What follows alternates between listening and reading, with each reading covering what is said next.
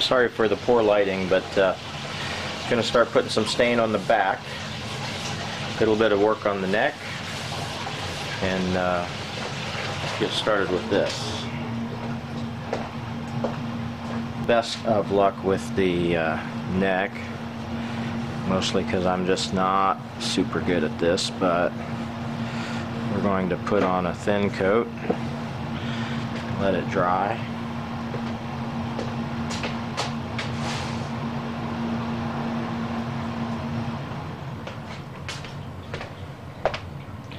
I tried a grain sealer on a uh, test piece of wood with this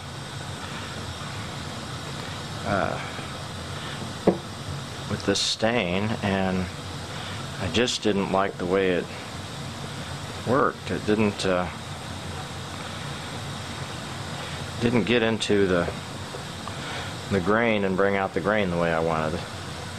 So now I'm just gonna I got some on there. I'm gonna work it around while it's still sort of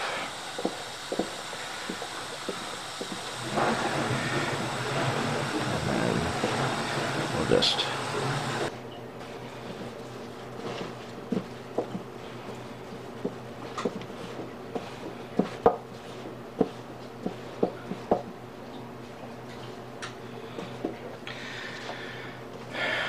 We'll let that dry and come back and sand it.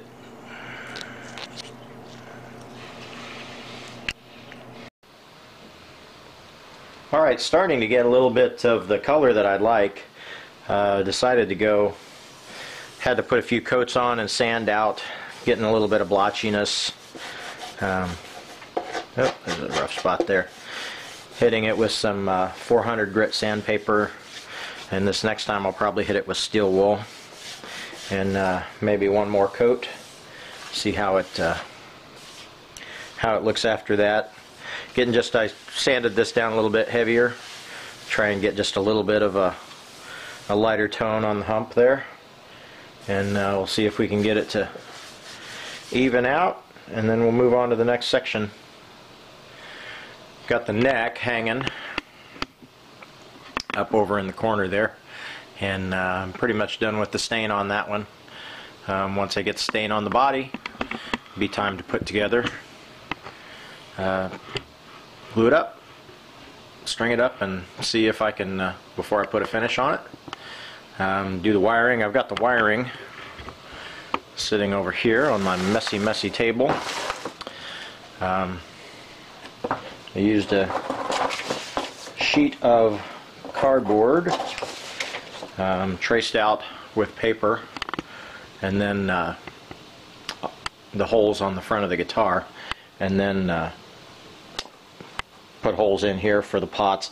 I'm going to replace these pots. These pots are are pretty crummy. Um, I'm going to go ahead and use the switch that's in there. For now use the pickups even though I'm probably going to replace those uh, with some better pickups.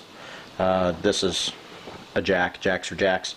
Um, but the pots, they sent uh, four pots um, for three volumes and one tone, but they sent uh, they sent uh, two linears and two audio taper pots.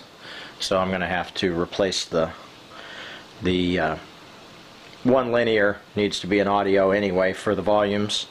Um, so I'm just going to go ahead and switch everything over to audio tapers and uh, better quality pots. I think that's going to be the best in the long run. So anyway, that's where the wiring is right now. And uh, going to keep finishing, be a few days, a little bit of finish at a time.